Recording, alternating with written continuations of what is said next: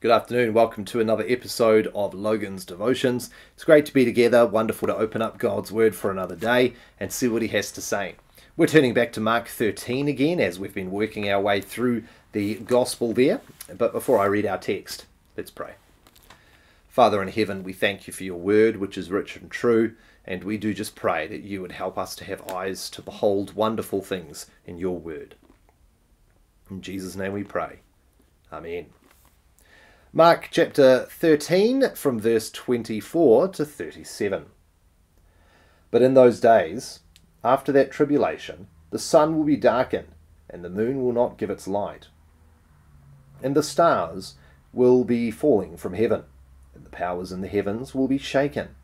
And then they will see the Son of Man coming in clouds with great power and glory. And then he will send out the angels and gather his elect from the four winds, from the ends of the earth to the ends of heaven. From the fig tree learn its lesson. As soon as its branch becomes tender and puts out its leaves, you know that summer is near. So also, when you see these things taking place, you know that he is near, at the very gates. Truly I say to you, this generation will not pass away until all these things take place. Heaven and earth will, earth will pass away, my words will not pass away. But concerning that day or that hour, no one knows, not even the angels in heaven, nor the Son, but only the Father.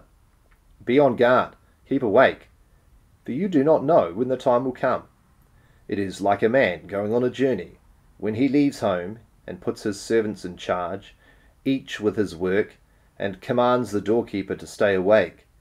Therefore stay awake for you do not know when the master of the house will come in the evening, or at midnight, or when the rooster crows, or in the morning, lest he come suddenly and find you asleep.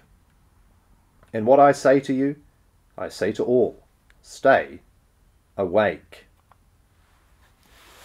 Well, this is a passage which we've been in for the last few devotions now, and it's a passage that often causes us no small amount of trouble, does it?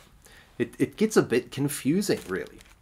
And it's because of the way Jesus answers the two questions. We remember right at the beginning that Jesus is answering two specific questions of the apostles, the disciples. Firstly, what will be the sign of the destruction of the temple?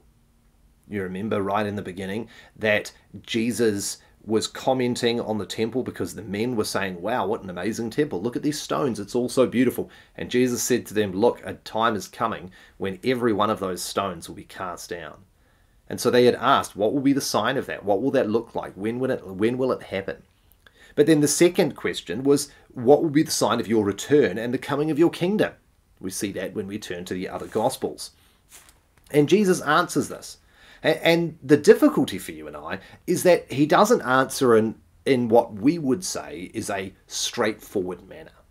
If you or I were to answer that, well, firstly, we'd be very confused and lost and we wouldn't be able to answer it. But if we were to answer it, we would probably say, well, the destruction of the temple will work like this. And my return will work like this. That's not how Jesus answers it he sort of flits back and forth, doesn't he? And we've seen that a bit as we've worked through. And it really gets highlighted in this section before us now. He begins now in our section to talk about his return. Then he talks about the temple. Then he talks about his return.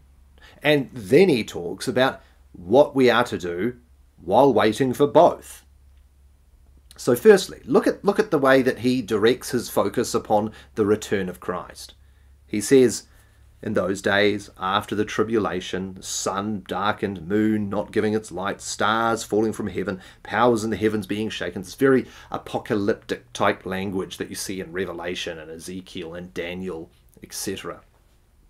And he says, You will see the Son of Man or they will see the Son of Man coming in clouds with great power and glory. And then he, being the Son of Man, will send out the angels and gather his elect from the four winds, from the ends of the earth to the ends of heaven. So he looks towards the end and he says, A time is coming, drop in my Bible, a time is coming when I will return. And when I will when I return, listen, when I return, they, not you, but they will see these things. Now that's important. He doesn't say you, and you'll find out why that's important in a minute. But Jesus is saying there is a definite moment in which I will return. He then shifts his focus towards the temple again, and he says, From the fig tree, learn its lesson. As soon as its branch becomes tender and puts out its leaves, you know that summer is near. So also, when you when you see these things taking place, you know that he is near at the very gates. Truly I say to you, this generation will not pass away until all these things take place. Heaven and earth will pass away, but my words will not pass away. So what's he talking about? Notice the change of pronouns. It was when they see these things. Now it's when you see these things. And what do you see? You see he coming. Who is the he? The he is the guy who's putting the abomination of desolation in place. You see what's happening here? Jesus shifts the focus. He shifts the focus from his return now back to the temple. And he's reminding them that he is the one warning them so that they need to pay attention. He's giving them the signs of the destruction of the temple so that they can be prepared to leave. Remember, we talked about how God was showing his mercy to his disciples and his people so that they could flee the destruction that would take place. He was saving his church, he was protecting his church. And so he sends them forth with this knowledge so that they would be ready on the day that it takes place. And then he switches focus again. Having said, pay attention, fig tree, my words will come to pass. He then switches the focus back again to his return. But concerning that day, notice the that day, not, not this day, AD 70, but that day, his return, or that hour, no one knows. Not even the angels, nor the Son, but only the Father. Now, there's a couple of things we have to engage with there, even though we don't have much time. Firstly, isn't it amazing that on TV programs like First Light, as it's called in New Zealand, there's all these experts who know exactly when Jesus is coming back? I get heaps of comments on YouTube about these things where people tell me that they've worked out who the beast is, and who this person is, and who that person is, and when Jesus is going to return. Yet the angels in heaven don't know. Yet the Son doesn't know. Secondly, we need to engage with that. What does Jesus mean by saying the Son doesn't know? Well, he clearly isn't saying that the second person of the Trinity doesn't know, because the second person of the Trinity is God in full deity and has complete omniscience. He knows everything. He's talking about his humanity. The Son, the human Son, Jesus, doesn't know in his humanity. Of course, his divine person knows his divine his divinity knows, but his humanity doesn't know. So don't get confused with that. But notice notice most of them. most importantly the application of this entire chapter. It's so easy for us to get bogged down with all of the crazy talk and then spend all our time trying to figure out the signs. But do you notice the application is not work out when I'm returning or work out when the temple's happening. No, the application is be awake, be ready. So, verse 33 Be on guard, keep awake. You do not know when, it, when the time will come. Verse 37 What I say to you, I say to all, stay awake. And then he has that beautiful little parable there, doesn't he? It's like a man going on a journey when he leaves home and puts his servants in charge, each with his work, and commands the doorkeeper to stay awake. Therefore, stay awake, for you do not know when the master of the house will come in the evening, or in the morning, in the midnight. No one knows, lest he come suddenly and find you asleep. What's the purpose? What's the application of the teaching of Jesus in Mark 13? Be ready. Be ready.